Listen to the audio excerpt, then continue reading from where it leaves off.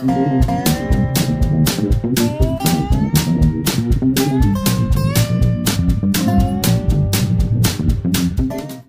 E aí, bora resolver mais uma questão dessa prova, feita pela VUNESP em 2018. Essa questão tá aqui na descrição desse vídeo, assim como no blog do Matemática. Se você perdeu as outras questões, clica nessa letra aí que tem a resolução delas também, dessa prova inteira. Tem muita questão da VUNESP aí e também de outras bancas. Vou deixar a questão na tela, você pausa o vídeo, tenta resolver e depois você vê a resolução. Então, foi!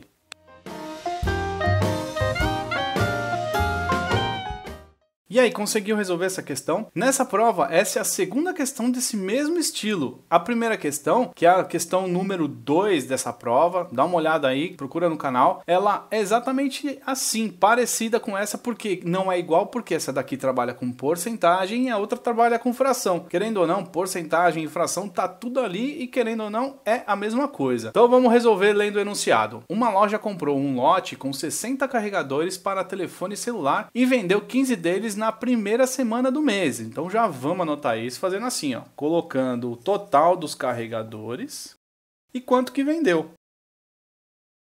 15% desses 60 na primeira semana do mês. Então vamos fazer essa conta aqui, 15% de 60. Tem vários jeitos de fazer, mas é só fazer assim, ó, também. 15 sobre 100, que é 15% vezes 60. Vamos fazer aqui, ó, 15 vezes 60, né, que aqui é a multiplicação de frações. Se você tem dúvida nisso, em porcentagem, operações com frações, tem aqui uma aula sobre isso e na descrição desse vídeo uma sugestão de aulas. 15 vezes 60 vai dar 900. 100 vezes 1, 100. Corta esses dois zeros aqui, 9 dividido por 1 vai dar 9, ou seja, na primeira semana vendeu 9. Vamos continuar. Entre os demais carregadores, 3 estavam com defeitos e foram devolvidos ao fornecedor. Então, ó, desses aqui tem alguns com defeito, que foram 3. Já mandou embora. Dos carregadores restantes, então tem mais aí, ó. Quantos são esses res... o que restou aqui, ó? 9 mais 3 são 12. Desses 12 a gente vendeu 9, 3 estavam com defeito. Então é só pegar esse 60 e tirar 12, que vai dar 48. Esse 48 aqui, só para você lembrar de onde ele veio, é 9 mais 3, que vai dar 12, menos 60. Então aqui, ó, 60 menos 9 mais 3.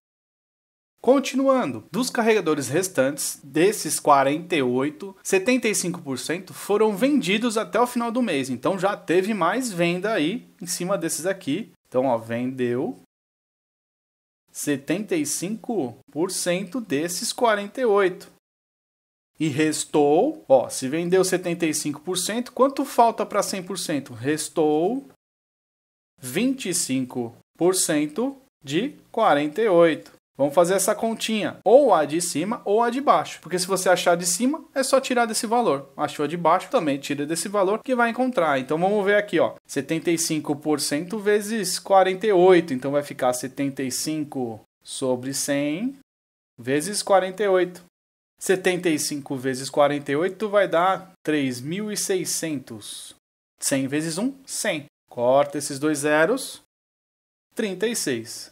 Se vendeu 36 de um total de 48, é o complementar disso daqui. Faltam quantos? 12. Se fizer essa conta, vai chegar em 12. Vamos continuar porque a gente não sabe ainda o que a gente está procurando. Então ele fala assim: ó, após as vendas e a devolução efetuadas, vendeu, devolveu, restou ainda um determinado número de carregadores que, em relação ao número de carregadores comprados pela loja, correspondem a então ele quer saber o que realmente restou. Então vamos prestar atenção. Ele vendeu esses caras, esses aqui, devolveu com defeito esse, ainda vendeu esse daqui e restou esse. Então ele comprou um total de 60 e restou esse daqui. Ele quer esse número em relação a esse número aqui. Então vai ficar assim, ó, 12 em relação a 60.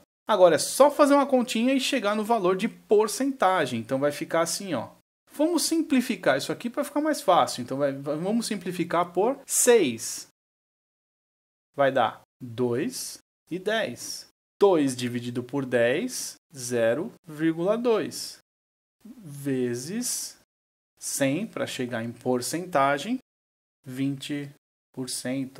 E isso está na alternativa A. Espero que você tenha entendido essa questão. Porcentagem aparece bastante na Vunesp. Se você se perdeu em algum lugar, volta o vídeo e vai anotando devagarzinho que eu tenho certeza que você vai entender. Muito obrigado por assistir essa questão até aqui. Não deixe de se inscrever no canal, divulga matemáticas, fala pros amigos e vamos para a próxima questão. Muito obrigado e tchau!